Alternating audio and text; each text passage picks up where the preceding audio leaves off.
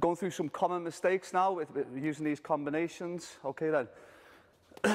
the first obvious one is as you're throwing your punches, don't loop your hands back. Remember, you've got to have a valid defense. Your hand goes out from your jaw, it comes back to your jaw.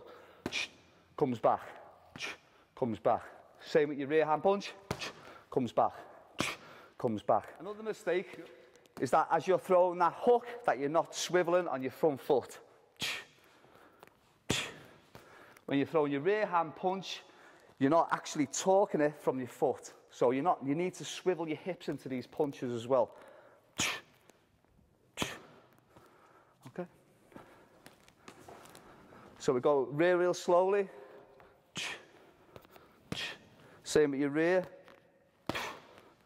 Comes back to your jaw with your hook. Swivel, swivel.